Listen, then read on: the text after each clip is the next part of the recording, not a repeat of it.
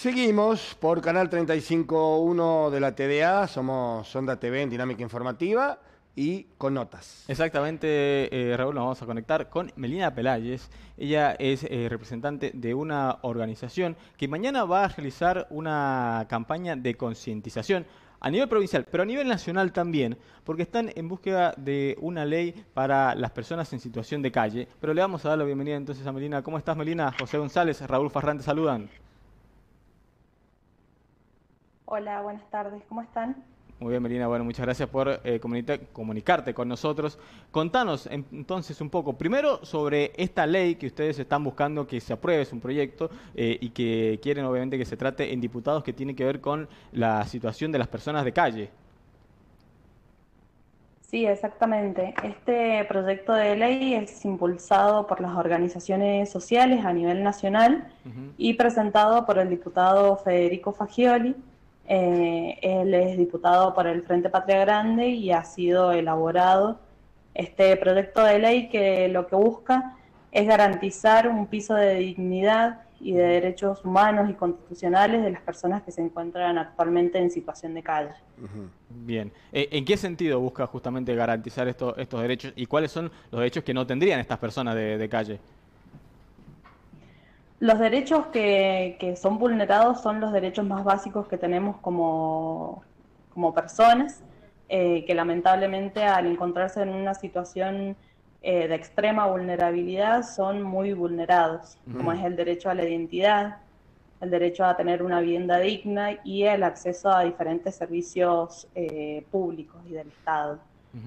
básicamente lo que busca y garantiza esta ley es la creación de una red de centros de integración social donde las personas en situación de calle puedan estar eh, los 365 días del año, las 24 horas del día, y en estos centros de integración eh, puedan llevar adelante el acceso a diferentes servicios públicos y también puedan llevar adelante eh, diferentes talleres eh, y espacios de creación colectiva donde puedan desarrollar diferentes habilidades sociales. Melina, ¿y cuántas personas serían a nivel nacional y en la provincia específicamente? ¿Ustedes más o menos tienen en cuenta ese número? Justamente lo que prevé esta ley es eh, la creación de un relevamiento anual de personas en situación de calle. este relevamiento en algunas provincias es eh, llevado adelante por organizaciones sociales, no es oficial, eh, y en la provincia de San Juan no tenemos exactamente el número porque nunca se ha hecho un relevamiento. Entonces, justamente lo que la ley garantiza es la creación de un relevamiento anual para saber quiénes son, dónde están, cuáles son las problemáticas y desde allí desarrollar e implementar políticas públicas para este sector. Bueno, había una política social ya para acá en la provincia de San Juan para las personas en situación de calle. Este, hay inclusive un comedor, un hogar en donde era la, vieja sala de urgencia del Hospital Rawson y sé que hay otros más. Este, ¿Ustedes tienen en cuenta algo parecido más o menos es lo que están proponiendo a nivel nacional? Exactamente, es algo parecido, pero que sea, mm, eh, que permita la salida y la entrada de personas que se encuentran en situación de calle. Eh, lamentablemente el contexto de pandemia ha llevado, a, ha determinado que muchas personas que se encuentran en, los refugios eh, no puedan salir por justamente miedo a contagiarse y llevar el virus al, refugio que se encuentran actualmente. Pero básicamente lo que se propone es un centro integrador donde no solamente puedan garantizarse el acceso, por ejemplo, a la alimentación y a un techo o una cama donde dormir, sino la generación de espacios donde puedan desarrollar diferentes habilidades sociales, mm. terminar la escuela, aprender un oficio, que tengan que ver con lo deportivo y cultural. Es como un, lo que se propone es un abordaje más integral. Y en consonancia con... Sí. No, no, complete, complete, complete. No, lo que digo es que ahí en, Ciudad de Buenos Aires se llevan adelante estos centros integradores y son eh, gestionados.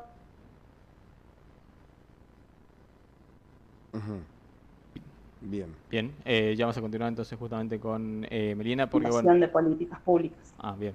Eh, Melina, y en este sentido, ustedes, eh, la ley que buscan, quieren que se empiece a tratar a partir de mañana. ¿Cuándo podrían tratarse? ¿Cuándo podría llevarse a cabo? Si tienen consenso con los diputados. Estaba dentro de los paquetes de leyes que se iba a tratar el pasado 5 de octubre en el Congreso. Sí eh, y que lamentablemente no pudo tratarse por el no quórum de Juntos por el Cambio, eh, pero en este en, el tratamiento que se realizará mañana en el paquete de leyes está eh, garantizado el, el, tratamiento de, de, la ley de personas en situación de calle. Bien. Yo me eh, imagino, Melina, que no debe ser fácil el empadronamiento de este tipo de personas en situación de calle, porque hay que separar las historias particulares de cada uno, ¿no?